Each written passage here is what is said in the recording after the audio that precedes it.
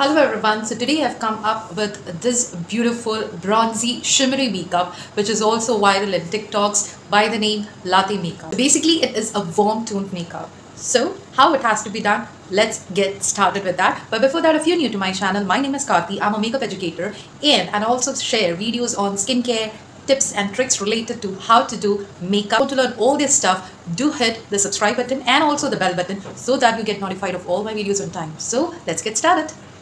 So basically I'm going to take a neutral eyeshadow palette and a brown color from that, applying it at the outer corner, blending it very seamlessly towards the inner corner. Now this is what I'm going to do for the entire eyelid.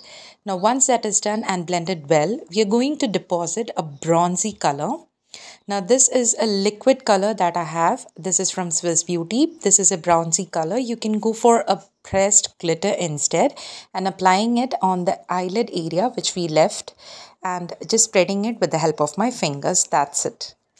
Now, for the foundation, this is a Lifeline Mixer. This is from Recode. This is something that is going to make any foundation of yours, you know, waterproof, for which I have taken 2 to 3 drops and put into a regular foundation of mine, mixing it and with the help of the beauty sponge very regularly as we do, just patting the foundation all around my face. Now once that is done, I'm going to set my whole face with the help of a translucent powder again from Recode and with the help of a puff which I'm going to start with my under eye area since that is where I tend to crease a lot. And after that, I'm going to spread the powder all around my face to set the cream products. Now once this is done, I have picked a flat fluffy brush. This is for the bronzer. Now here, I'm going to apply in all the areas where I need that cut or the natural bronzing. You can clearly go with a cream contour instead and then set it later with the help of a bronzer. Since I have an oily skin, this is something that suits my makeup. So yeah, I have applied the bronzer in all the areas. Here we need to go a heavy handed with the bronzer since the makeup is all about latte brown toned makeup. So yeah, you can go a little bit of heavy handed. If you want, you can completely avoid the blush and just go with your bronzer all around the areas areas where you need the cut or the sculpting. Now after this, I've picked a peach blush and this is again a powder blush and applying just on top of the bronzing that we did on the cheekbone.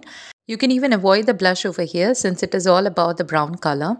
Now even for the nose I've contoured with the same contour powder that we used or the bronzer powder that we used.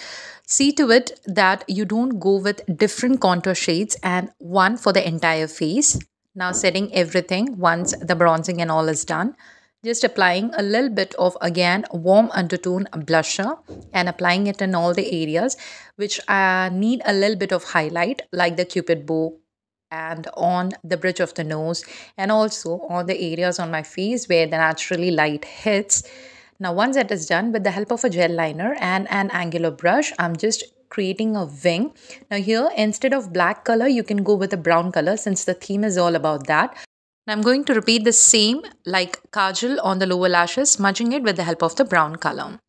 Now with the cream contour and an angular brush, I'm lip lining. Now this is completely your preference. Instead of this, you can go with a deep brown color, but see to it that you don't go out of it. Now here is a lip shade that is Espresso. Again, a brown shade a super brown shade that is from Swiss Beauty and that's how the whole look of latte makeup is being created. I'm going to finish this with the help of or with a coat of mascara. This is from Colossal, Maybelline Colossal. And that's how the whole look is created. I'm pretty much sure it was very easy for you people to understand. Now, if you really like this, please do give it a like and also do continue with my channel. Love you, take care and bye-bye.